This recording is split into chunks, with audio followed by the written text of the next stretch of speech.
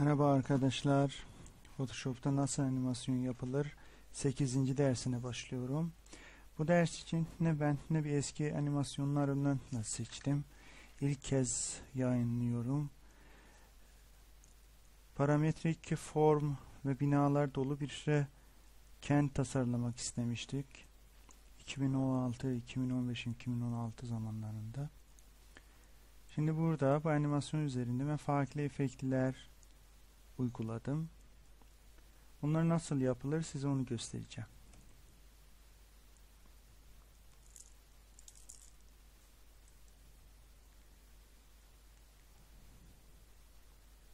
İlk efektimiz de bu animasyonun bir kısmı siyah beyaz oldu.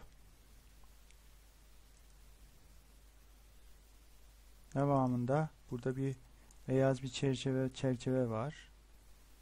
Opacity'si ee, biraz da düşürmüşüm.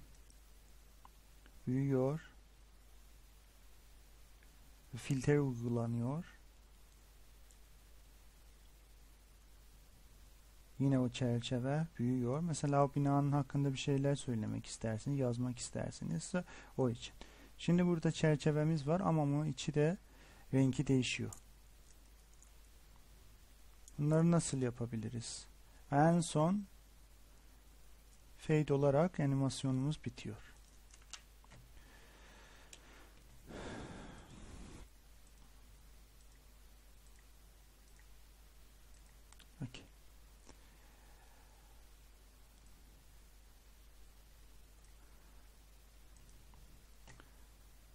Baştan başlıyorum ben. Burada aşağıdaki katmanları siz görebiliyorsunuz.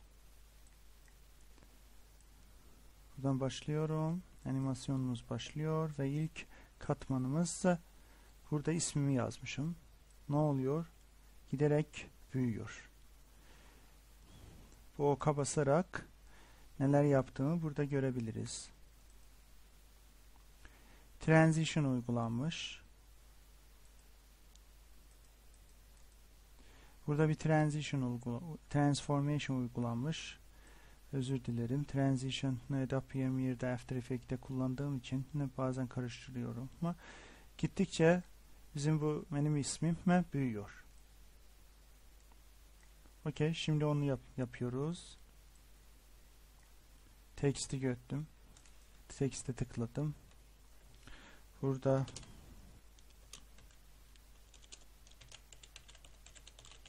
architecture yazıyorum. Rengini değiştiriyorum. Böyle. Şimdi ben ne text için yeni bir layer oluşuyor. Video grup içinde. Ne oluyor? Bizim yaptığımız yani animasyonun devamında. Şimdi ben bunu onun yukarı katmanı olarak belirlemek istiyorum. Onu seçiyorum, o katmanı seçiyorum. Oka basıyorum. New video group from clips seçtim. Bunu ayarlıyorum yerini. Nerede olacak? Şöyle. Renkini falan değiştirebilirim. Yerini falan şöyle. Oka basıyorum. Burada transition transform var. Küçültüyorum. Çok küçültüyorum. Keyframe oluşturuyorum burada. Enter'e basıp ondan sonra bu inter'i unutuyorum ben zamanımı ayarlıyorum ve tekrar büyütüyorum. Enter. Ne oluyor? Şöyle bir şey. Bundan sonra şey geçiyorum. Nasıl bu animasyonumuzun bazı yerlerini siyah beyaz yapabiliriz. Şimdi video grup katmanında grubunda bir new layer açıyorum. Ama burada mesela bunu siyah beyaz isimlen isim isim koyabilirim. Yaptım. Bakın şimdi aşağıda add layer maskı seçiyorum. Brush seçtim bazı kısımları böyle brush ile yaptım. Zaten bunu burada biliyor, görüyorsunuz. Siyah beyaz bir e, tam main'imiz var burada. Siyah olan yerleri brush'ımla yaptım ben. Üzerinde tıklarsak mesela invert falan yapabiliriz. Ne oluyor? E, etrafı siyah oldu. Şimdi ise brush ile yaptığımız yer beyaz oldu. Bunları neden neden yaptım? Bakın şimdi bunu yaptığımda çift tıklıyorum burada. Color overlay'e geçtim. Ve burada bir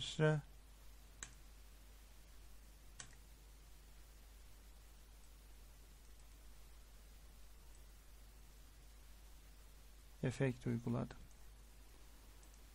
Color overlay.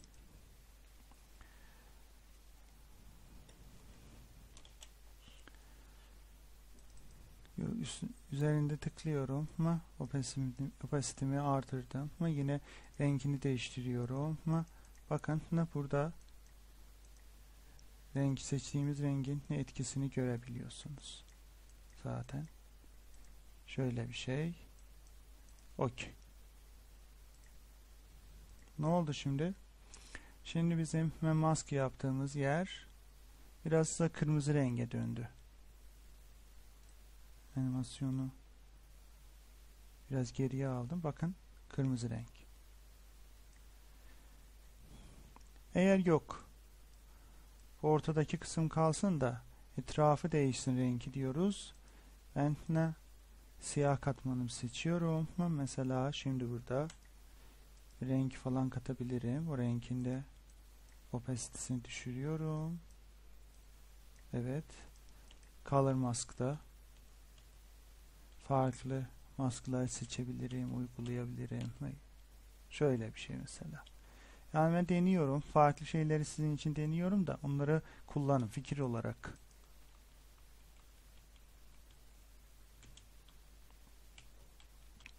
Şöyle bir şey mesela. Mesela burada öne ortada önemli bir şey var. Biz onu e, vurucu bir şekilde e, seyirciye anlatmak istiyoruz da şöyle bir şey yapabiliriz.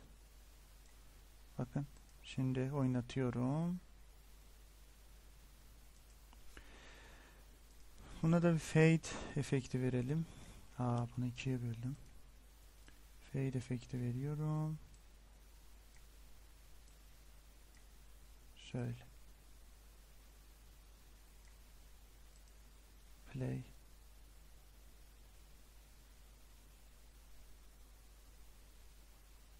Kırmızı kendini çok belli etmiyor. Neden? Katmanı kapattım. Şöyle. Şöyle şeyle yapabilirsiniz. Bu arada bu mavi işareti de ikonunda ismini buldum. Playhead. Playhead'i istediğiniz zamanla üzerinde ayarlayabilirsiniz. Frame üzerinde ayarlayabilirsiniz. Başka neler yapmışım ben? Bakın burada bizim çerçevemiz var. Okey. O çerçeveyi nasıl yapabiliriz? Yine bir new layer açtım ben. New layer açtık. Burada shape seçiyorum. Toolbar'da shape'i seçiyorum ve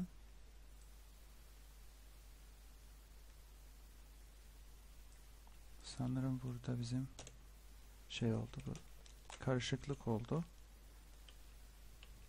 Evet. Katmandayım ben.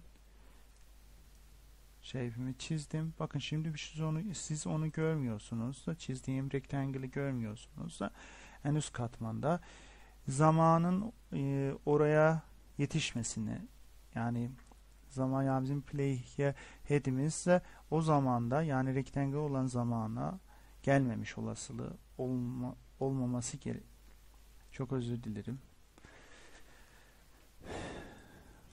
Playhead'in rektangle olan zamana ulaşmamasından dolayı böyle oluyor.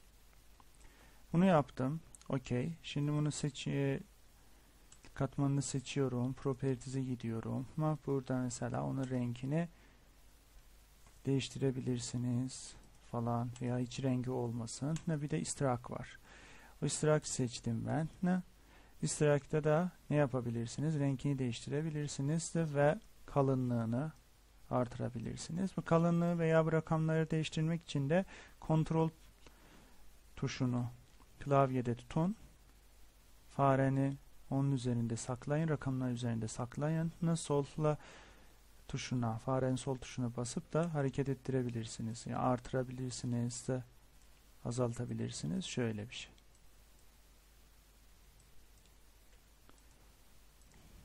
Böyle olsun. Nokta olsun. Olabilir.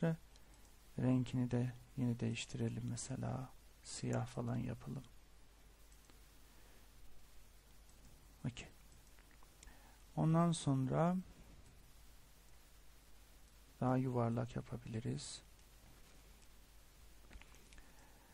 Şimdi ben bunun üzerinde transform uygulamak istiyorum. Ama bunun yani bu katmanın okuna tıklamam gerekir. Burada position yazmış. Bu position'ı transform'a çevirmek için ne yapıyoruz? Layer'e gidip ve katmanın üzerinde Layer tab'e gidip ve katman üzerinde sağ klik yapıyorum ve Convert to Smart Object akıllı nesneye dönüştürüyorum bunu. Burada transition var. Yine de burada Ctrl T'ye basıyorum. Transform Inter Transform Ondan sonra zamanımı değiştiriyorum. Ctrl T şöyle bir şey oldu. Bunun için nasılları içinde nasıl bir renk yapabiliriz de o da çok önemli. Ee, bakın yani o o işi yapmak için ne ben ne bununla bir Ctrl C'yi basarak bu katmandan bir kopya aldım. Ondan sonra onu bir başka bir grupa atıyorum. Ama şimdi bu ikisi birbirinin üstünde. Okey. Ee, ne yapıyorum? Ma properties'e gidiyorum. Ma seçtim de Aa bunu şey akıllı nesne yapmışım da o akıllı nesne yapmışım ama burada edit content'e basmam gerekir. Başka bir bakın başka bir canvas açtı bizim için. Okey. Canvas veya image'in üzerinde burada uygulamalarımızı yapıp kontrol ile S'e basıyoruz. Save ediyorum onu.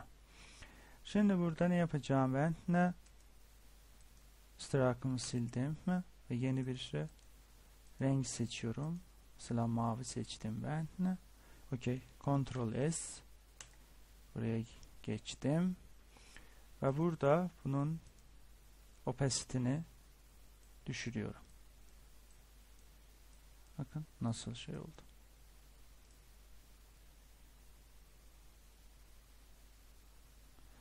Ama burada bir orta bir şey oldu. Yani bununla ee, yani bunu bundan kopyaladığım için ne olabilir yani bu rectangle'lı 11'i kopyaladım da rectangle 11 kopyayı çıkarttım mı sanki mesela o 3D Max'te kopyalarsın ya instance veya reference olarak kopyalarsanız bir şey nesneni birini değiştirdiğiniz zaman diğeri de değişir.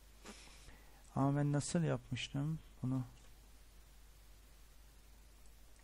Yaptığım animasyonda bir daha görsek.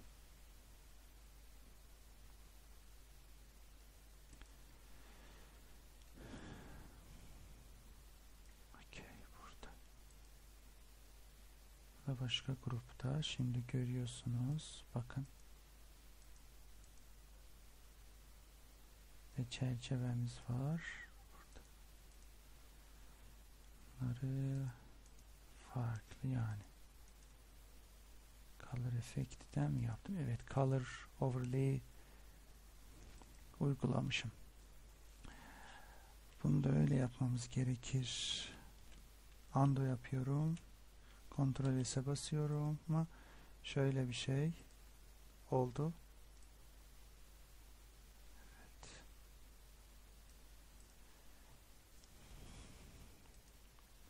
Şimdi burada color overlay hmm. Bakalım. Ama oradaki olanlar akıllı nesne değil. Yani buradaki olanlar hiçbiri akıllı nesne. Burada. Evet akıllı nesne değiller. Akıllı nesne oldukları zaman ne kopya kopyalıyoruz da bir referans copy gibi oluyor. Okey bunu da öğrenmiş olduk. Ee, akıllı nesne yapmayalım. Bunları akıllı nesne yapmayalım. Ama undo şöyle olsun ve ben ne Ctrl C basarak onu kopyalıyorum ve başka bir grup aldım. Onun üzerine koydum. Yine burada seçip de Properties'de ne yapıyorum? Struck'ı sildim ama bunu mavi yaptım. Layer'ine dönüp bunu şöyle yapıyorum.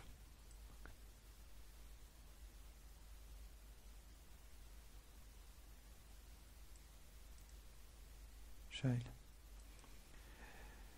Yani bunları yaptıktan sonra eğer e, transform'u uygulamak isterseniz de bence convert smart object yaparsanız da şey olmaz.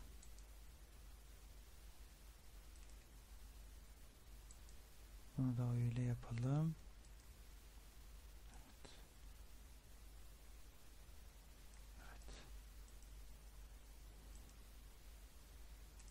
Mesela şöyle bir şey yaptık. Ctrl T'ye basıyorum. Sıra bunu büyütüyorum. İndir. Evet. Sorun yaşamadık. Bir oynatalım. Neler yaptığımızı görelim. Architecture ismi büyüyor.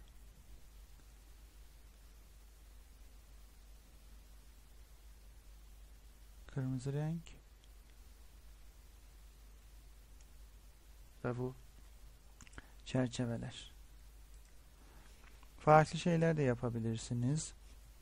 Farklı efektler de verebilirsiniz. Mesela ben ne bu animasyonumda animasyonun üstü ve altında bakın yani yukarıda ve aşağıda yukarıda ve aşağıda bir de siyah çizgi koydum. Olabilir. Öyle bir şeyler de yapabilirsiniz. Bakın layer oluşturup ona renk atacaksınız.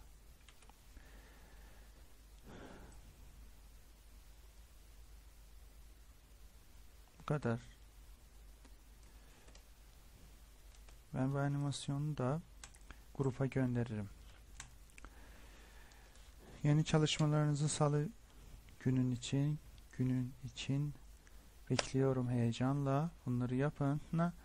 Devamını da ben ne kaydedip Drive'a ve kendi YouTube kanalıma yükleyeceğim.